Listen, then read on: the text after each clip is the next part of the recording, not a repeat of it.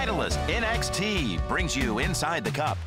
Today's subject is grooves. Well, the uh, grooves regulations are all going to be changed in 2010. What are your thoughts? Uh, I'm very concerned. One of the key elements of my game could be taken out of play, the Flopodopoulos. The what? Flopodopoulos, 64 degree wedge, you open it up, swing, drop, stone dead. I gotta have my grooves. You can't take the teeth out of my Flopodopoulos. Don't mess with daddy's bite. Nobody wants to mess with your Flopodopoulos. Inside the Cup, brought to you by the winning quality and performance of Titleist NXT.